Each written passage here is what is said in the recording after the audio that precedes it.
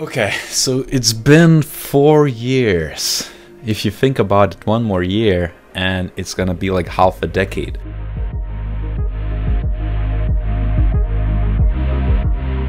And so the other day I got this question from one of the viewers Faisal and he's saying why no one is talking about touch bar. The UX of it is just a joke and I tend to agree. I mean it's been so long but Apple didn't really build anything on top of it. It's just been a hell of an experiment which seems to be forgotten, but generally speaking the audience, the actual Mac fans, are kind of divided. Some are already used to it, others are just angry and furious about it and just don't really want to use it. More than two years in and I have yet to find anyone who thinks this is a good idea. Time waster, not a time saver, decreases efficiency and removes one-touch access to critical functions like volume and brightness control, hidden sliders, really look down, locate locate touch to expand locate the slider widget, then move it bonkers. This specific bit breaks the heuristic of recognition instead of a recall because the users must learn the hard way this behavior. And for example, even, you know, the sliding of the volume being remote from the actual trigger, the Fitts law is just being broken there as well. Uh, don't get me wrong, I'm all for the inevitable keyless keyboard with pressure sensitivity and haptic feedback. And this is where I think Apple is headed because from day one seems like an experiment just to drop in a new input method alongside the butterfly keyboard just to experiment with two bits, capture some data because Apple is obviously logging left and right what you're doing with your laptop and then compare and see if they can expand it. Apple just patented all those different schemas, how the future laptops is going to look like and it's just going to be a haptic touchscreen which can change the keys depending on the app you are on. Context sounds familiar. That's exactly what touch bar is right now but obviously minified never used macbook pro with touch bar. I think from f1 f2 keys is my daily usage thing. And this is what i agree as well which has pissed me off back in the day because a lot of different tools apps games as well like video games use f1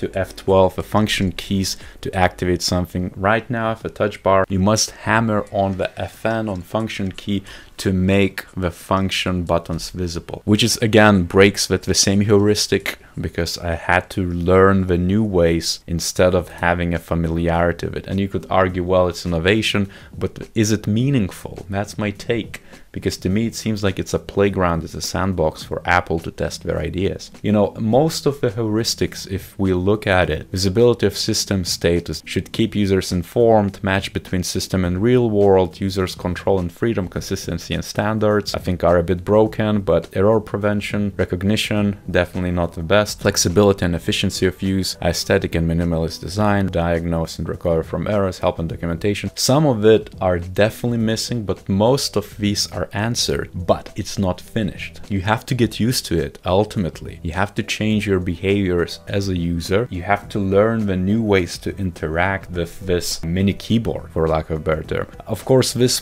person also suggests BetterTouchTool, which basically you can install and remap your keys. Here in this example, you can basically customize different bits. Don't get me started on about lack of physical escape key. Every time I find myself looking for it because my fingers are searching for, well, a key and the blank space next to it bothers me more than anything else. You have to basically figure out a way to exit an expensive, unneeded frippery that interferes with many workflows, which, well, I do agree with that. By a lot of different apps, for example, video editing, graphic processing, have the gimmick side to it where you can, let's say, flip through different slides, select colors, when you type text and message, you can select emoji, things of that nature. All the different bits which sort of make it useful, it still breaks the heuristics of the usability and also breaks the workflows. Your eyes from human computer interaction have to flip from one screen down to another minified screen and then kind of connect the dots and go from one bit to the other. It's always making you and forcing you to recall and shape the behaviors and be reactive instead of proactive and just recognizing the patterns and just like using a simple mouse. You know where to click you know what interactions is going to result. You don't need to take a second look before clicking one button or the other button. You know what's going to happen. I'm also of the opinion that most uses is less efficient or anytime you have to take your hand off keyboard and eyes off a screen to initiate an action is less efficient than if you could execute a key combination while still looking at the screen. And so this is the qualitative feedback which Apple probably didn't care about or we didn't user test it before. I mean, this is it. This is what I'm talking about. The biggest problem with Touch Bar is human.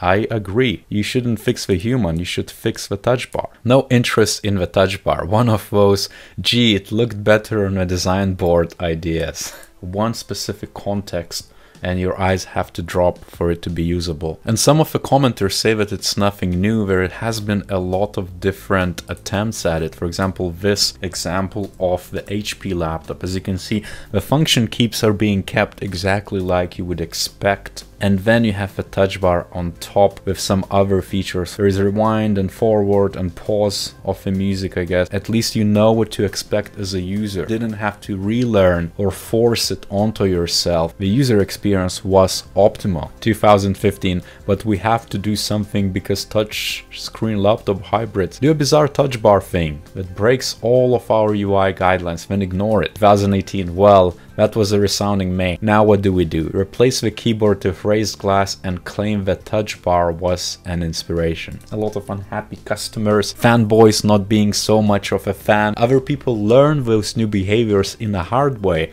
and then defend it. To me has been an experiment again, a testing ground to find out if there's a little bit of traction. I kinda respect that, but on the other hand, that has been quite an odd choice. And if you time travel back back and ask Steve Jobs, hey, would you launch this? Just like many other innovations, which some are meaningful, some are not, I don't think he would approve it. But hey, and so I hope this is useful. If you find it so, give a like, leave a comment down below of your own thoughts. How did you find it in the last few years if you have used it? And on that note, I'll see you next time.